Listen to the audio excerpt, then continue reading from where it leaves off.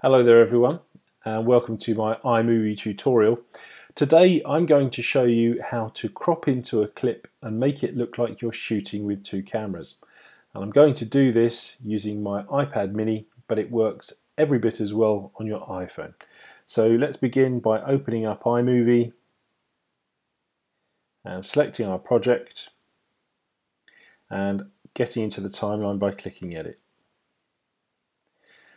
Now this technique works very very well if you're shooting something like a, a piece to camera where um, you're, you're only using your iPhone uh, and you can't zoom in or out actually as the shot is running. You have to keep it on one size. So here's me, I've just um, shot a piece with, uh, with my iPhone. So as you can hear there's some audio with it so here I am, just chatting away. I'm uh, filming this on my iPhone using a selfie stick. And so there I am, I'm chatting away, and I did uh, sort of stop the, uh, the, the chatting very briefly uh, to give us a point to cut in. Now it's always much more effective if you can use the crop on on a, a point in the in the interview where where the speaking has stopped for a second. So let's just listen to that see point. It's a wide shot and I've got no option to zoom in. Uh, it's too far away. Um, I'm filming myself, um, but I would like a close-up shot if possible. So that's my little in point there. Uh, and what I need to do, I need to split the clip first. So let's highlight it, Actions, and Split. So again, when we split the clip, uh, when it's a straight cut, there's no loss of continuity or anything. Shot so if possible. Watch.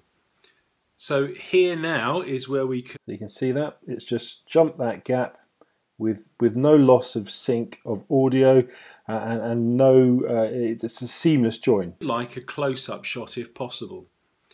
So here now is where. So now we can zoom in for the close-up. So let's highlight the clip, and in let's get rid of the. Um, the media browser.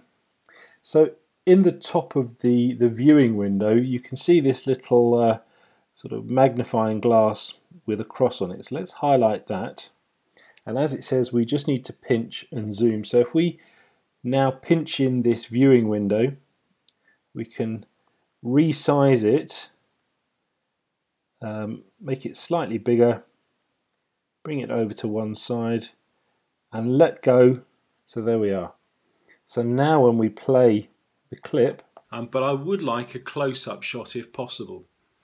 So here now is where we can, you can have see a... it's zoomed in. Um, not, not the most attractive of shots, I have to say, but it uh, demonstrates my point. So we've gone from the wide shot and we've zoomed in to a closer shot. Now, when you zoom in, you have to be a little bit careful because uh, you're not doing a true zoom, what you're doing is basically enlarging the image. Uh, and as you enlarge that image, if there's grain or, or anything, in, you're enlarging those imperfections as well. If you go too big, let's try that again. Let's, let's just show you what happens. It doesn't look particularly good. You can see it's um, a little bit grainy. The resolution is not very good. Up um, but um, we will have to do it and that's because iMovie, we've just gone too too far on the zoom. So let's come back, change that, um, keep coming back. So we're back to our original zoom size. So there we go, that's a very basic and quick technique for making it look like you've been using two cameras.